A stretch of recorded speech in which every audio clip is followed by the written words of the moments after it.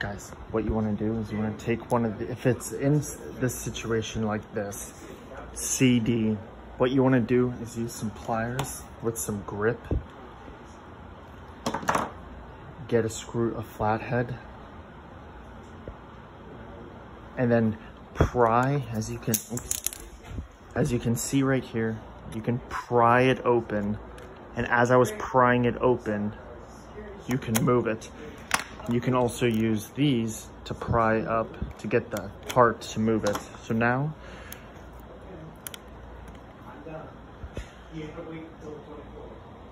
oops, and there is